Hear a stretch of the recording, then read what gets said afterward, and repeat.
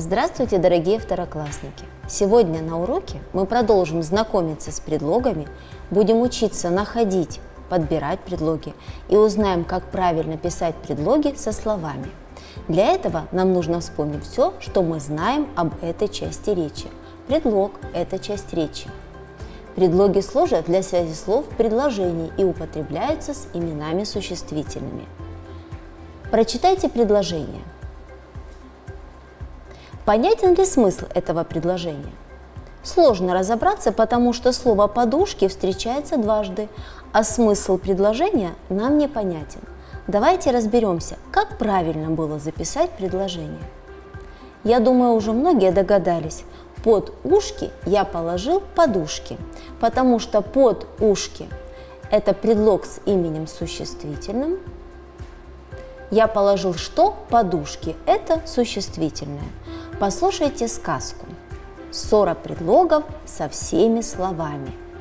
Жили в одном из городов морфологии предлоги. Были они такие драчуны и забияки, и один раз так сильно поссорились с существительными. Существительные обиделись на задир. Предлоги поссорились с обидчивыми словами. Они переехали в другой дом и даже перестали разговаривать с бывшими соседями – Постепенно они совсем отдалились. Так предлоги стали отдельными словами. Делать нечего. Раз уж случилась такая ссора навек, решили записать в книгу правил это событие, ставшее потом правилом. Предлог – это слово, и с другими словами пишется всегда раздельно. Запомните, предлоги со словами пишутся раздельно. Это орфограмма. Давайте потренируемся. Определите, в каком предложении предлог существительным записан правильно. Ребята пошли в лес. Во втором случае. Коля пришел из школы. В первом случае.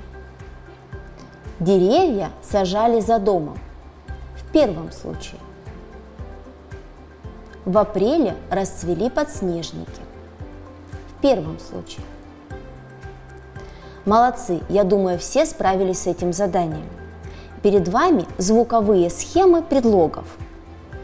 Прочитайте, как мы произносим и слышим предлоги без, над, под, перед, через, из. А как правильно писать предлоги?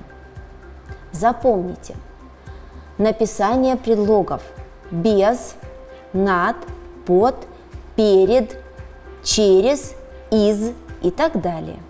Поупражняемся. Выберите, какие буквы нужно записать в предлогах без сахара, над травой, под тумбой, перед садом, через лес, из песни. Выполняя это задание, мы учились правильно писать предлоги. Давайте повторим Сегодня на уроке мы вспомнили, что предлог – это часть речи и служит для связи слов в предложении. Предлоги со словами пишутся раздельно. Это орфограмма. Предлоги всегда пишутся одинаково. Без, под, над и так далее. Для закрепления полученных знаний я рекомендую выполнить домашнее задание – учебнике «Русский язык. Вторая часть для второго класса» выучить правила на странице 110 и выполнить упражнение 186 на странице 109. Спасибо за внимание!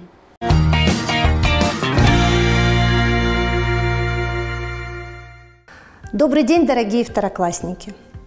Давайте, прежде чем начнем изучать новую тему, повторим то, о чем мы говорили с вами на прошлом занятии. Давайте вспомним, что значит умножить число на 10 и как это можно легко выполнить?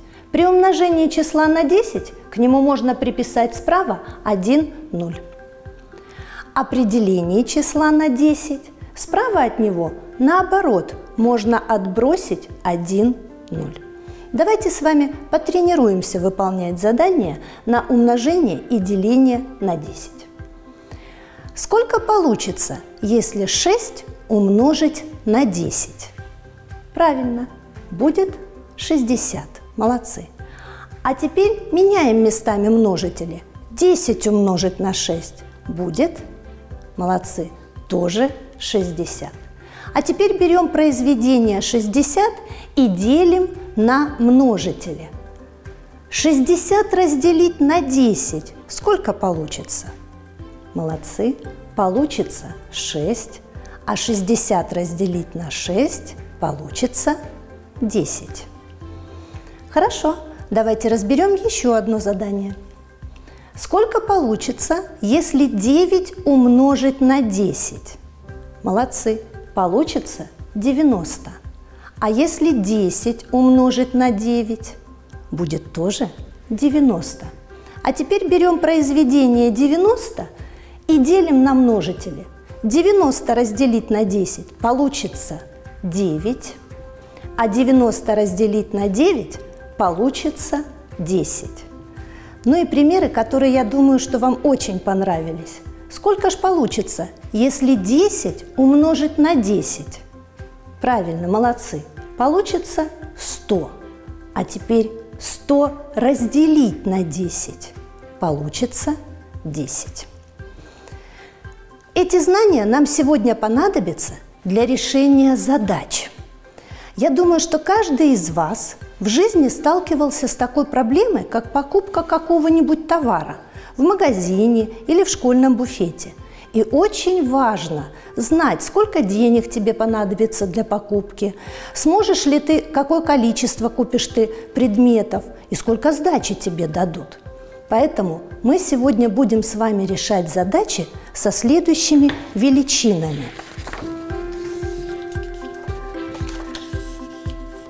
Цена, количество, стоимость. Разберем задачу на 75 странице под номером 2 в ваших учебниках. Мальчик Толя купил три тетради по 10 рублей каждая. Сколько денег он заплатил за все тетради вместе? Давайте заполним нашу таблицу данными и задачи. Что нам известно? Мы знаем, что одна тетрадка стоит 10 рублей. Сколько таких тетрадей купил Толя? Правильно, молодцы. Количество купленных тетрадей – 3. И нам с вами необходимо узнать общую стоимость покупки Толи. Как же мы будем действовать? Конечно, можно было бы сейчас 10 прибавить 10 и прибавить 10, и мы бы нашли общую стоимость всей покупки. Но мы же с вами уже умеем заменять сложение одинаковых слагаемых умножением. Поэтому для того, чтобы найти Стоимость всей покупки достаточно 10 умножить на 3. Получится 30. Толя потратил на 3 тетради 30 рублей. Решаем следующую задачу. У нас те же тетради, но необходимо найти, сколько таких тетрадей по цене 10 рублей можно купить на 50 рублей. Давайте заполним нашу таблицу данными из задачи. Цена тетради 10 рублей. Стоимость всех тетрадей, которые можно купить, 50 рублей. Нам необходимо узнать, сколько тетрадей можно купить на эти 50 рублей. Что же мы будем делать для того, чтобы решить данную задачу? Нам необходимо 50 рублей поделить по 10. И тогда мы найдем количество купленных тетрадей. То есть 50 разделить на 10. И мы нашли 5 тетрадей. На 50 рублей можно купить 5 тетрадей. Решаем следующую задачу.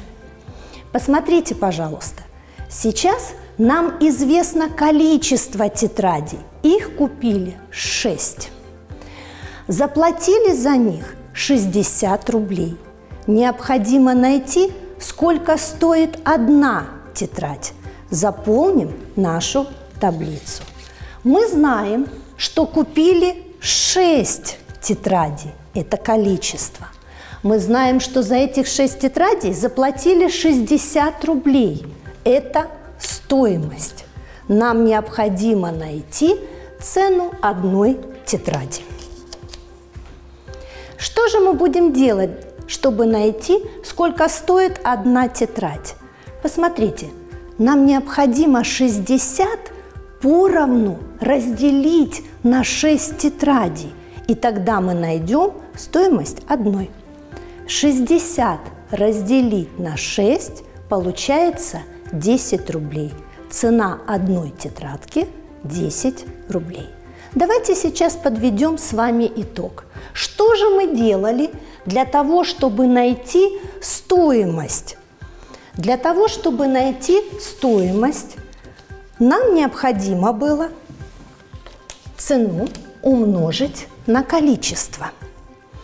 А что мы с вами делали для того, чтобы найти количество? Мы стоимость делили на цену. А что мы делали, чтобы найти, сколько стоит один предмет? Чтобы найти цену, нужно стоимость разделить на количество. Для закрепления материала, который мы сегодня с вами разобрали, я предлагаю дома выполнить следующее задание. На странице 75 номер 2 вам необходимо придумать задачи, похожие на те, которые мы решали сегодня с вами на уроке. Только не забудьте, что цена должна соответствовать действительности. Спасибо за внимание. До новых встреч!